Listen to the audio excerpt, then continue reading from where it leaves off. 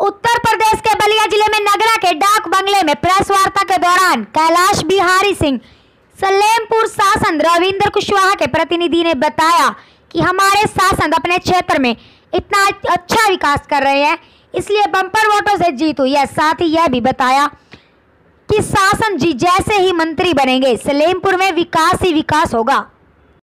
कैलाश बिहारी सिंह जी। सांसद प्रतिनिधि माननीय सांसद सलीमपुर।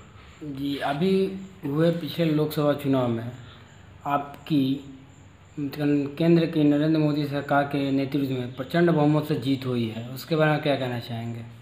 मोदी जी की नीतियों को देखकर हाँ। सबका साथ सबका विकास। एक नारा था। जी जी। जनता जो है मन बनाकर बैठ गई थी। जी जी। पूरा दिलो दिमाग से मोदी जी के पक्ष में मोदी जी के कार्यों को देखकर जितनी योजनाएँ मोदी चलाए थे, सब धरातल पर थी।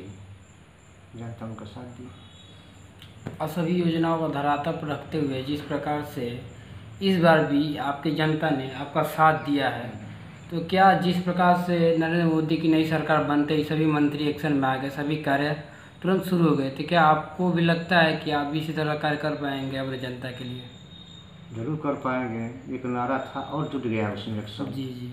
सबका साथ सबका विकास इस देश के नेता हैं कि राष्ट्रीय स्तर पर और अंतर्राष्ट्रीय स्तर पर मजबूती के साथ भारत को आगे ले जाते हैं जिस प्रकार से प्रतिपक्ष के नेता अपनी राजनीति को छोड़ के पार्टी बदलने भाजपा में शामिल हो रहे हैं तो इसको आप किस तरह देखते हैं? ये नरेंद्र भारतीय जनता पार्टी का है विश्व की सबसे बड़ी पार्टी है। जी।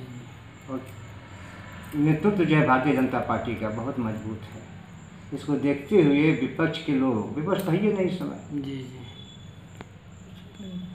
विपक्ष है नहीं तो जिस प्रकार से बलिया के पहचान बनाने वाले चंद्रशेखर जी के बेटे नीरज शेखर अपनी पार्टी खुद की पार्टी छोड़ के भाजपा में शामिल हो गए हैं। इसके बारे में आप कुछ कहना चाहेंगे? ज़रूर कहना चाहेंगे।